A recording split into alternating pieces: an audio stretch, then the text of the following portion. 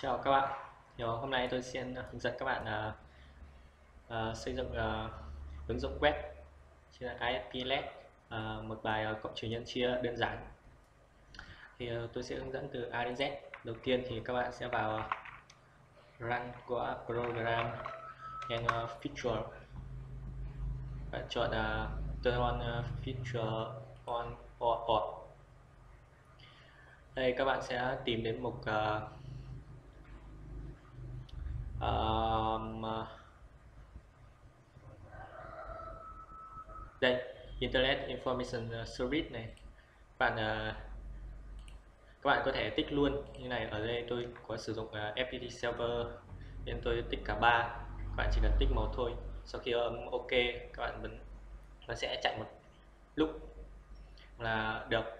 Để kiểm tra xem đã có chưa thì các bạn vào uh, Google Chrome bạn chọn uh, cần có lực hot này như này tức là bạn đã cài đặt thành công cái à, uh, IIS đấy. Um, sau khi uh, uh, bạn sẽ tiến hành uh, tạo một cái uh, website. Các bạn mở Visual Studio lên tôi bị quên. Đây uh, đây, các bạn sẽ chọn à, CSAP và isp.net empty website. Đây à, đây các bạn có thể bấm chọn thư mục, ở đây tôi sẽ lưu vào mục D và www vừa cái web gì đó. Tôi sẽ ghi là dev cộng trừ nhân chia. Ok.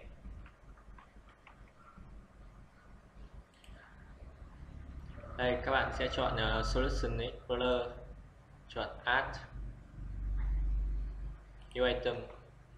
Bạn sẽ chọn web form. Đây cứ để để form cũng được. Add. Uh, sau khi add rồi thì uh,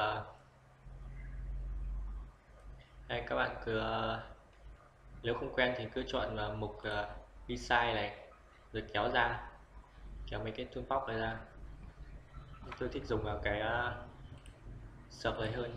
Nhưng mà tôi sẽ hướng dẫn ở cái à, design này. À, các bạn sẽ lấy một uh, label ra. Các bạn nhét vào thẻ div này. Các bạn ghi là a. Các bạn lấy một uh, tick box. Đây. Các bạn sẽ lấy một uh, label ghi là b. Sẽ để thêm một số cách ở đây.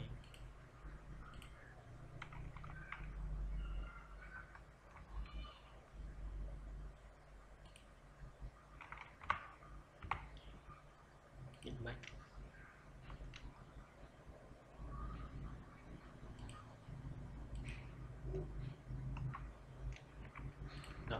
các bạn kéo một cái uh, text box nữa ra.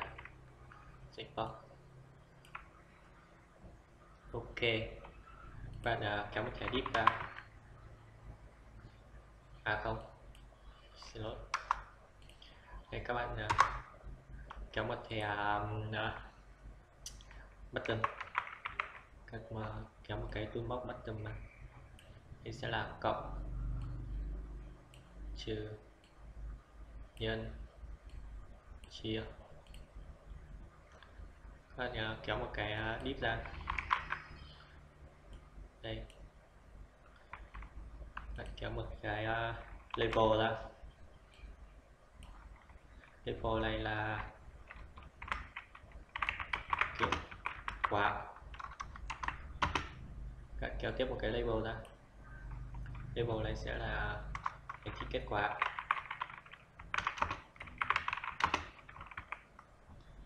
rồi các bạn sẽ đổi tên nó đi các bạn chuyển qua phần search này. Ở ô text như là cộng. Trừ. Nhân chia. Rồi, ok. Các bạn chuyển qua phần à, design. Bạn sẽ nhấn nút vào cái à, cộng này bạn khai hai biến? A và b. Các bạn để float tại vì uh, phép chia. Nó có phép chia. Tôi sẽ làm demo cho cái cộng và trừ và nhân chia các bạn tự làm. Hoàn toàn giống xích xác luôn. What ép kiểu. Um, take một chấm take b forward chấm pass take off hai chấm take ok đến uh, phần uh, label đây cái uh, label hiển thị kết quả các bạn xem đây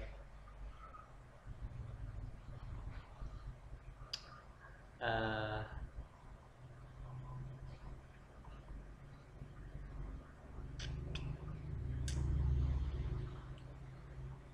xin lỗi bạn kéo cái label vào đây.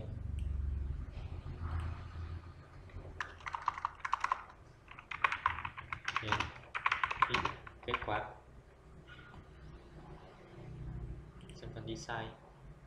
Ok. À,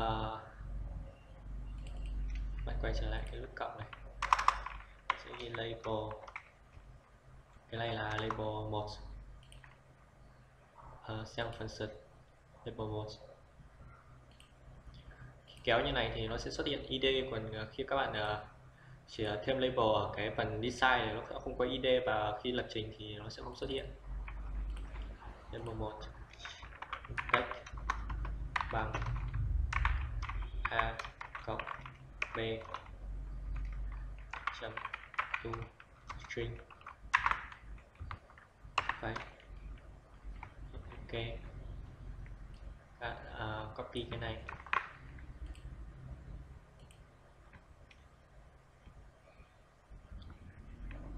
Bạn sẽ sang nút trừ.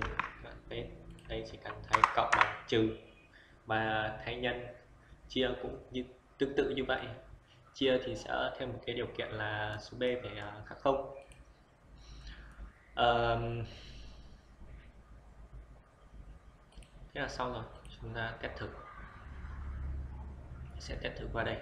Microsoft Edge. Số A. Số A tôi để bằng à, 5 đi. Số B để bằng 4 đi.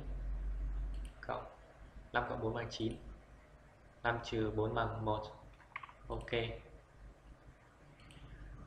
Bây giờ các bạn sẽ tiến hành à, public nó bạn chọn uh, public web app app bạn chọn custom profile name dân cộng trừ nhân chia gì gì đó. Ok.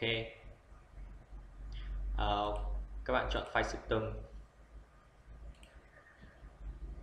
bạn chọn cái um, đây lưu lưu của nó tôi chọn là mục uh, piston này.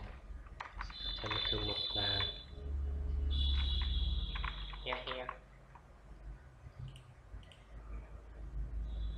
Create new ok. Bạn chọn next các bạn cứ chọn public luôn được rồi successful. Các bạn có thể kiểm tra uh, có ờ. ở Sơn vậy tôi lưu ở đâu nhỉ?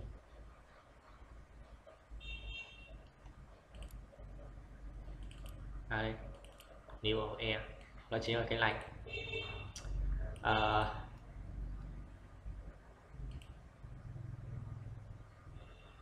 xong rồi.